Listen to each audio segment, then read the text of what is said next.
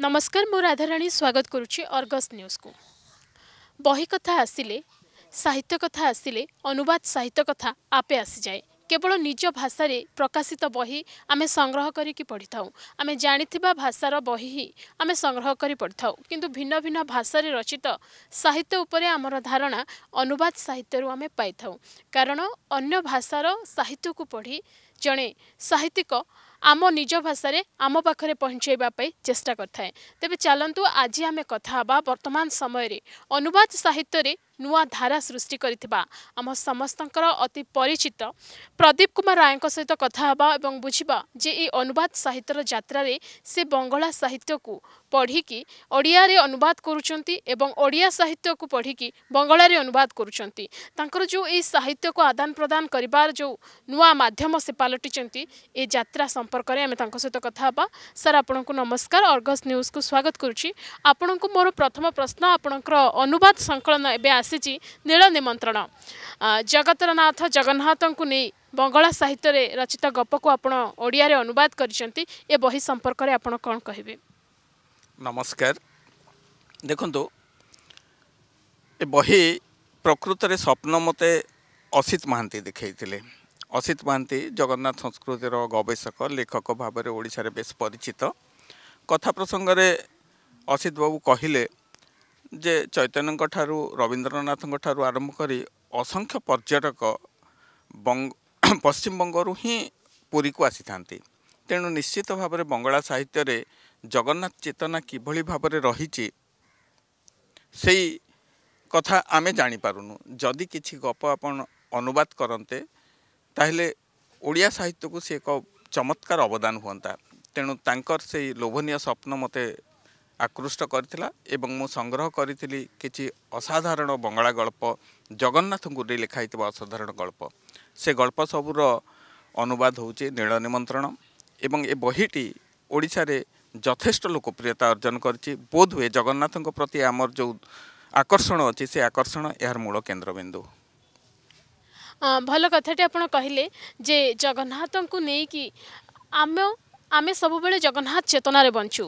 ଓଡ଼ିଆ କଥା କହିଲେ ଓଡ଼ିଶାବାସୀଙ୍କ କଥା କହିଲେ ଆମେ ଜଗନ୍ନାଥଙ୍କୁ ନେଇକି ଆମ ଜୀବନ ପରିବେଶିତ କିନ୍ତୁ ବଙ୍ଗଳା ବା ପଶ୍ଚିମବଙ୍ଗରୁ ଅନେକ ପର୍ଯ୍ୟଦର୍ଶକ ଆସନ୍ତି ଜଗନ୍ନାଥଙ୍କର ଦର୍ଶନ ପାଇଁ। ଆଉ ତାଙ୍କର ଯେଉଁ ଅନୁଭବ ରହିଛି ଅନୁଭୂତି ରହିଛି ତାହାକୁ ନେଇ ଯେଉଁ ଗପ ରହିଛି ତାହା ଆମେ ପଢ଼ିବା ଏବଂ ଜାଣିବାର ଆବଶ୍ୟକତା ରହିଛି ଆମ କାଳିଆ ଠାକୁରକୁ ଅନ୍ୟମାନେ କେଉଁଭଳି ଭାବରେ ଅନୁଭବ କରୁଛନ୍ତି।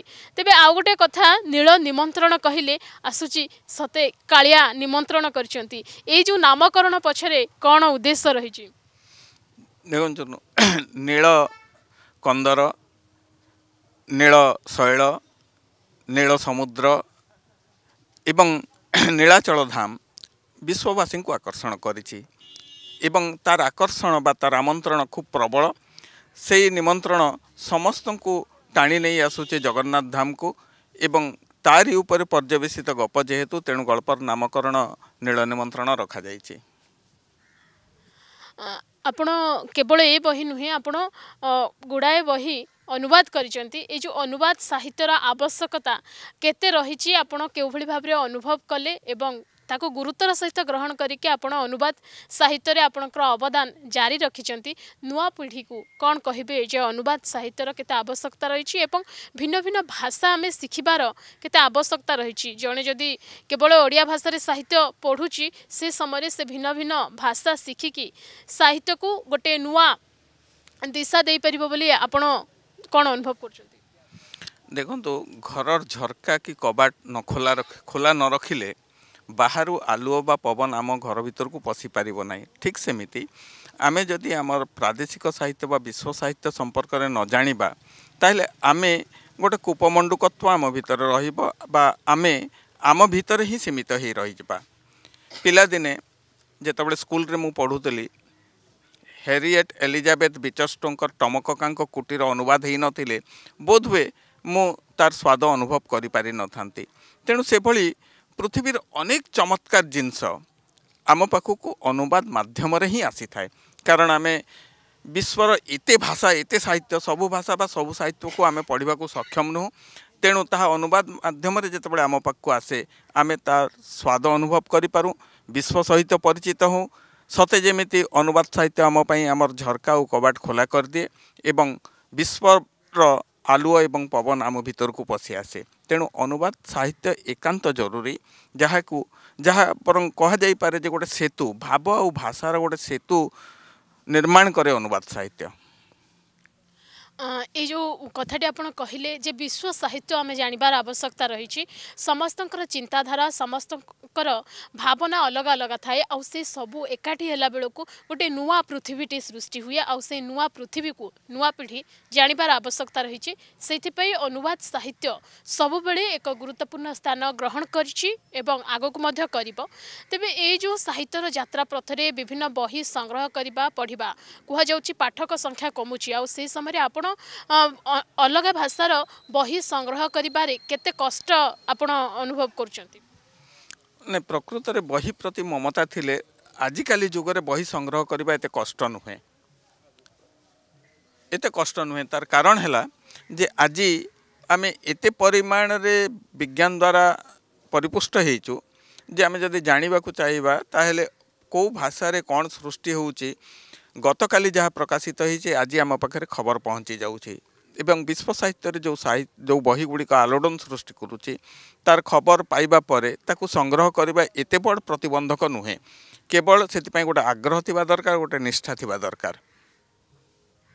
ଆପଣ ଯେଉଁ କଥାଟି କହିଲେ ସେଇ କଥାଟି ହିଁ ମୁଁ ଆପଣଙ୍କୁ ପଚାରିବି ଯେ ଅନ୍ୟ ଭାଷାର ସାହିତ୍ୟ ଖୋଜି ଆଣିକି ପଢ଼ିବା ଏତେ କଷ୍ଟସାଧ୍ୟ ନୁହେଁ। କାରଣ ଡିଜିଟାଲ ଯୁଗରେ ସବୁକିଛି ଆମେ ଡିଜିଟାଲି ଜାଣିପାରୁଛେ। ଠିକ୍ ସେହିପରି ଓଡ଼ିଆ ସାହିତ୍ୟ ଅନ୍ୟମାନଙ୍କ ନିକଟରେ ପହଞ୍ଚାଇବାରେ ଆମେ କେତେ ସଫଳ ହୋଇପାରିଛେ। ଦେଖନ୍ତୁ ଆମ ଭାଷାରୁ ବି ଅନେକ କିଛି ଅନୁଦିତ ହେଉଛି। ହୁଏତ ସବୁବେଳେ ଅଭିଯୋଗ ଆସେ ଯେ ଆମର ଆମଦାନୀ ଯେତେ ତା ଅପେକ୍ଷା ରପ୍ତାନି ଖୁବ୍ କମ୍। କିନ୍ତୁ ସେ କଥା ନୁହେଁ। ବହୁତ କିଛି ହେଉଛି କିନ୍ତୁ ଆମେ ତାର ଖବର ରଖିପାରୁନୁ ମୂଳ କଥା ହେଲା ଯେ ପଶ୍ଚିମବଙ୍ଗରୁ ଗୋଟେ ଅନୁବାଦ ପତ୍ରିକା ବୋଲି ଗୋଟେ ପତ୍ରିକା ବାହାରେ ବିଶ୍ୱ ସାହିତ୍ୟ ଏବଂ ପ୍ରାଦେଶିକ ସାହିତ୍ୟର ସେ ଅନୁବାଦ ହିଁ ସେ ପତ୍ରିକାରେ ପ୍ରକାଶିତ ହୋଇଥାଏ ଉଣେଇଶହ ପଞ୍ଚସ୍ତର ମସିହାରୁ ସେ ପତ୍ରିକା ନିରବିଚ୍ଛିନ୍ନ ଭାବରେ ପ୍ରକାଶ ପାଉଛି ଉଣେଇଶହ ପଞ୍ଚସ୍ତର ମସିହାରେ ଯେତେବେଳେ ତାର ପ୍ରଥମ ସଂକଳନଟି ପ୍ରଥମ ସଂଖ୍ୟାଟି ପ୍ରକାଶ ପାଇଲା ସେଥିରେ ରାଧାମୋହନ ଗଡ଼ନାୟକଙ୍କର କବିତାଟିଏ ପ୍ରକାଶ ପାଇଥିଲା ଅନୁଦିତ ହୋଇ ଏବଂ ସେଇ ଦିନଠାରୁ ଆଜି ପର୍ଯ୍ୟନ୍ତ ସେଇ ପତ୍ରିକାରେ ନିରନ୍ତର ଭାବରେ ବିଶ୍ୱ ସାହିତ୍ୟ ଅନ୍ୟାନ୍ୟ ଭାରତୀୟ ସାହିତ୍ୟ ଓଡ଼ିଆ ସାହିତ୍ୟର ମଧ୍ୟ ଅନୁବାଦ ପ୍ରକାଶ ହେଇ ଆସୁଛି। ଠିକ୍ ସେମିତି ଅଜସ୍ର ବହି ଏଇ ଗତ ବର୍ଷ ତ କେନ୍ଦ୍ର ସାହିତ୍ୟ ଏକାଡେମୀ ଆୱାର୍ଡ଼ ପାଇଛନ୍ତି ତପନ ବନ୍ଦୋପାଧ୍ୟାୟ ଯିଏକି ସୀତାକାନ୍ତ ମହାପାତ୍ରଙ୍କର ଭାରତବର୍ଷକୁ ଅନୁବାଦ କରି କେନ୍ଦ୍ର ସାହିତ୍ୟ ଏକାଡେମୀ ପୁରସ୍କାର ପାଇଛନ୍ତି ତେଣୁ ଅନୁବାଦ ହେଉଛି କିନ୍ତୁ ହୁଏତ ସଂଖ୍ୟା ଦୃଷ୍ଟିରୁ କମ୍ ହେଇପାରେ କାରଣ ତାର ମୂଳ ପ୍ରତିବନ୍ଧକ ହେଉଛି ଯେ ପ୍ରକାଶନ। ତାମାନେ ଆମେ ଯେହେତୁ ଅନ୍ୟ ପ୍ରଦେଶର ପ୍ରକାଶକଙ୍କ ସହିତ ଯୋଗସୂତ୍ର ରକ୍ଷା କରିପାରୁନୁ ତେଣୁ ବହିଟିଏ ଅନୁବାଦ କଲେ ତାହା ଯଦି ସେଇ ଭାଷା ସେଇ ଭାଷାର ଯେଉଁ ପ୍ରକାଶନ ସଂସ୍ଥାମାନେ ଅଛନ୍ତି ସେମାନେ ଯଦି ପ୍ରକାଶ କରିବା ପାଇଁ ଆଗ୍ରହୀ ନ ହୁଅନ୍ତି ତାହେଲେ ବହିଟି ଅନ୍ତତଃ ପ୍ରକାଶର ଆଲୋକ ଦେଖିପାରିବ ନାହିଁ। ଏଇ ଯୋଗାଯୋଗଟି ହେଉଛି ସବୁଠୁ ବଡ଼ କଥା। ନହେଲେ ଓଡ଼ିଆ ଭାଷାରୁ ପ୍ରଚୁର ପରିମାଣରେ ଅନ୍ୟ ଭାଷାକୁ ପ୍ରକାଶ ପାଉଛି ଅନୁଦିତ ହେଉଛି ପ୍ରକାଶ ପାଉଛି ଖବର ହୁଏତ ଆମ ପାଖରେ ସବୁ ଜିନିଷ ପହଞ୍ଚି ପାରୁନାହିଁ ବୋଲି ଆମେ ଭାବୁଛୁ ଯେ ଆମ ଭାଷାରୁ କିଛି ଅନ୍ୟ ଭାଷାକୁ ପ୍ରକାଶ ପାଉନାହିଁ। ନିଶ୍ଚିତ ଭାବରେ ଏହା ନିହାତି ଭାବରେ ଆମ ପାଇଁ ଭଲ କଥା ଯେ ଆମ ଭାଷାର ବହି ଆମ ଭାବନାକୁ ଅନ୍ୟମାନେ ମଧ୍ୟ ପଢ଼ିବା ପାଇଁ ଆଗ୍ରହ ପ୍ରକାଶ କରୁଛନ୍ତି। ତେବେ ଆପଣଙ୍କୁ ମୁଁ ଏଇ କଥା ପଚାରିବା ପାଇଁ ଚାହିଁବି ଯେ ଏ ଯେଉଁ ଅନୁବାଦ କରିବା ସମୟରେ ଅନ୍ୟ ଭାଷାରେ ଗୋଟିଏ ଗପ ପଢ଼ିବା ପରେ ବା କବିତାଟିଏ ପଢ଼ିବା ପରେ ଆପଣ ଓଡ଼ିଆ ଭାଷାରେ ଅନୁବାଦ କରିବା ସମୟରେ କେଉଁ କଥାକୁ ଅଧିକ ଗୁରୁତ୍ୱ ଦିଅନ୍ତି? ପ୍ରଥମ କଥା ଯେ କେଉଁ ବହିଟି ବା କେଉଁ ଗପଟି ବା କେଉଁ କବିତାଟି ଅନୁବାଦ କରାଯିବ?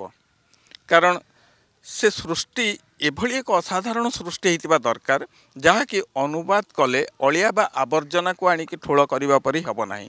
ମୁଁ ଏ ପ୍ରସଙ୍ଗରେ ଗୋଟେ କଥା କହିବାକୁ ଚାହିଁବି ଯେ ଗତ ବର୍ଷ ତରୁଣକାନ୍ତି ମିଶ୍ରଙ୍କର ଗୋଟେ ଓଡ଼ିଆ ଗଳ୍ପ ବଞ୍ଚିବାର ଦିନକୁ ମୁଁ ବଙ୍ଗଳାରେ ଅନୁବାଦ କରିଥିଲି ଏବଂ ଅନୁବାଦ ପତ୍ରିକାରେ ସେ ଗପଟି ପ୍ରକାଶ ପାଇଥିଲା।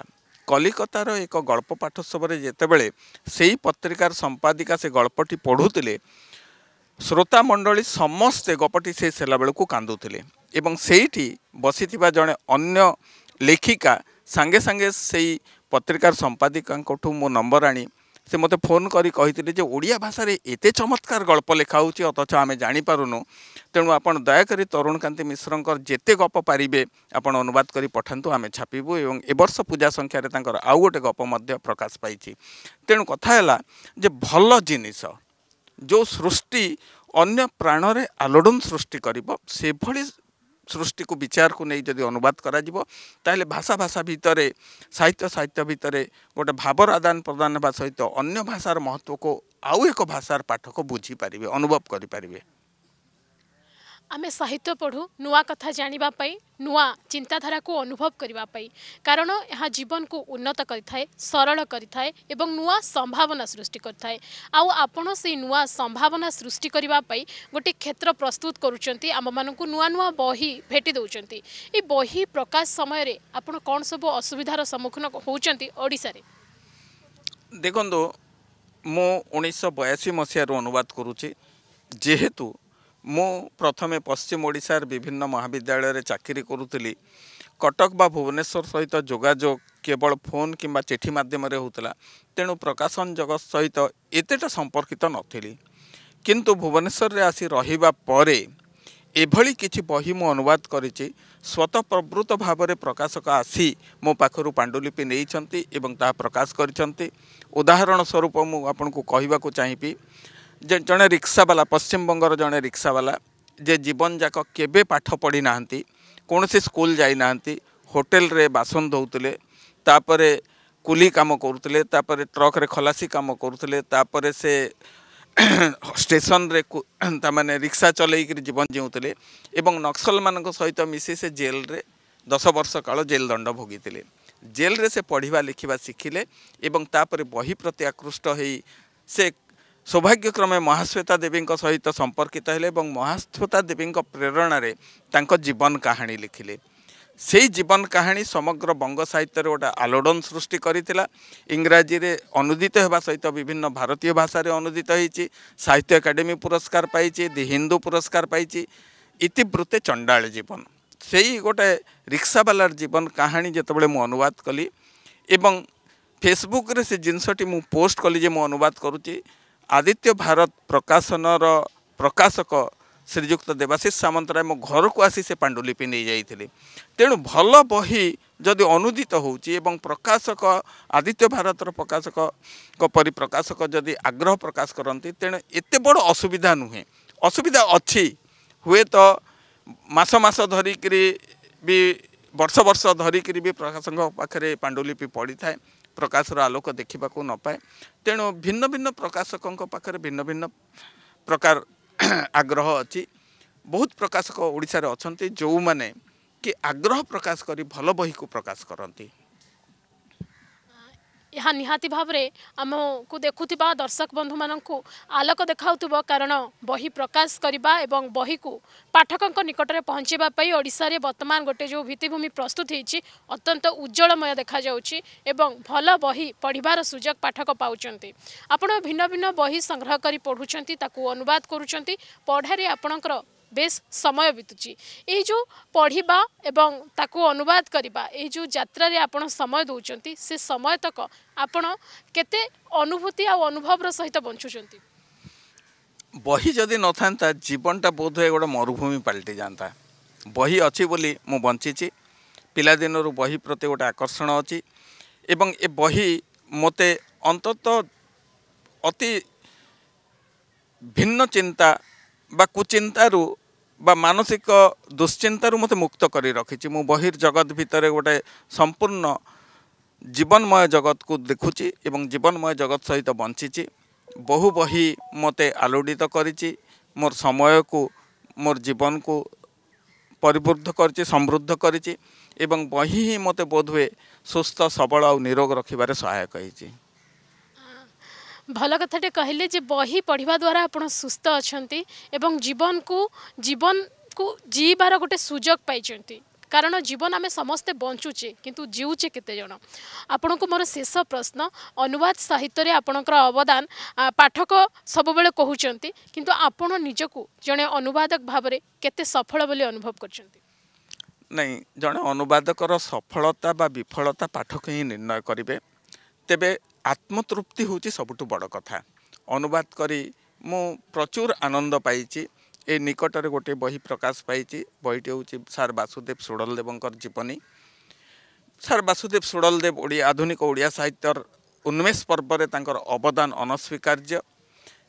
ଆଶ୍ଚର୍ଯ୍ୟ ହେବେ ଯେ ଉଣେଇଶହ ଷୋହଳ ମସିହାରେ ଈଶ୍ୱରଚନ୍ଦ୍ର ବିଦ୍ୟାସାଗରଙ୍କର ଜୀବନୀ ଲେଖିଥିବା ଲେଖକ ଚଣ୍ଡୀଚରଣ ବନ୍ଦୋପାଧ୍ୟାୟ ଜଣେ ଓଡ଼ିଆ ସାର୍ ବାସୁଦେବ ସୁଡ଼ଲଦେବଙ୍କ ଜୀବନୀ ଲେଖିଥିଲେ ଏବଂ ସେଇ ଜୀବନୀ ଗ୍ରନ୍ଥର ମୁଖବନ୍ଧରେ ସେ ଲେଖିଥିଲେ ଯେ ଏଭଳି ଜଣେ ରାଜା ଓଡ଼ିଶାରେ ସଶରୀରେ ବଞ୍ଚିଥିଲେ ଏକଥା ଆଗାମୀ ପ୍ରଜନ୍ମ ଆଦୌ ବିଶ୍ୱାସ କରିବେ ନାହିଁ ଏବଂ ସେଇଥିପାଇଁ ମୁଁ ଏ ଜୀବନୀ ଲେଖୁଛି। ସେ ଜୀବନୀଟି ଜରାଜୀର୍ଣ୍ଣ ଅବସ୍ଥାରେ ମୁଁ ବାମଣ୍ଡା ରାଜ ଦରବାରରେ ଥିବା ଲାଇବ୍ରେରୀରୁ ଉଦ୍ଧାର କରିଥିଲି ଉଣେଇଶହ ଷୋହଳ ମସିହାରେ କେଲକାଟା ପବ୍ଲିସିଂ ହାଉସ୍ରୁ ପ୍ରକାଶିତ ହେଇଥିଲା ସେ ବହି ଅନୁବାଦ କରିଛି ମୁଁ। ଏବଂ ଓଡ଼ିଆ ସାହିତ୍ୟକୁ ବାମଣ୍ଡା ରାଜାଙ୍କର ଅବଦାନ ତାକୁ ନେଇ ଲେଖିବା ଆମେ ଲେଖିବା ପୂର୍ବରୁ ଜଣେ ବଙ୍ଗଭାଷୀ ଲେଖକ ଲେଖିସାରିଥିଲେ ସେ ବହି ସମ୍ପର୍କରେ ଓଡ଼ିଶାରେ କ୍ୱଚିତ ଲୋକ ଜାଣିଛନ୍ତି। ଏବଂ ଆଜି ଶହେରୁ ଉର୍ଦ୍ଧ୍ୱ କାଳ ବର୍ଷ ଅତିବାହିତ ହେଲାଣି ସେ ବହି ପ୍ରକାଶ ପାଇବାର। ଏ ବର୍ଷ ସେ ବହିଟି ପ୍ରକାଶ ପାଇଛି ଏ ବହି କିମ୍ବା ଇତିବୃତ୍ତେ ଚଣ୍ଡାଳ ଜୀବନ କିମ୍ବା ନୀଳ ନିମନ୍ତ୍ରଣ ଏଭଳି ବହି ଅନୁବାଦ କରି ମୁଁ ଯେଉଁ ଆତ୍ମତୃପ୍ତି ପାଇଛି ସେ ଆତ୍ମତୃପ୍ତି ହେଉଛି ପୃଥିବୀର ସବୁ ପୁରସ୍କାର ଠାରୁ ବଡ଼ ଏବଂ ପାଠକୀୟ ଆଦୃତି ହେବ ସବୁଠାରୁ ବଡ଼ ପୁରସ୍କାର ଏବଂ ପାଠକ ବୋଧ ହୁଏ ଏ ବହି ଗୁଡ଼ାକ ଖୁବ୍ ଆଦର କରି ଗ୍ରହଣ କରୁଛନ୍ତି ଆଁ, ବହୁତ ଆଁ, ଭଲ ଲାଗିଲା ଏ କଥାଟି ଶୁଣିକି ଯେ ଆପଣ ଆଁ, ଭିନ୍ନ ଭିନ୍ନ ବହି ପଢ଼ିକି ତାକୁ ଅନୁବାଦ କରିକି ନିଜେ ଆତ୍ମସନ୍ତୋଷ ପାଇଛନ୍ତି ଏବଂ ଆମେମାନେ ପାଠକମାନେ ବହି ସଂଗ୍ରହ କରି ପଢ଼ିକି ନିଶ୍ଚିତ ଭାବରେ ନୂଆ କଥା ଜାଣିବେ ଜୀବନକୁ ନୂଆ ଭାବରେ ବଞ୍ଚିବା ପାଇଁ ଚେଷ୍ଟା କରିବେ। ଆଜିର ଆଲୋଚନାକୁ ଏଇଠି ରଖୁଛୁ। ନମସ୍କାର।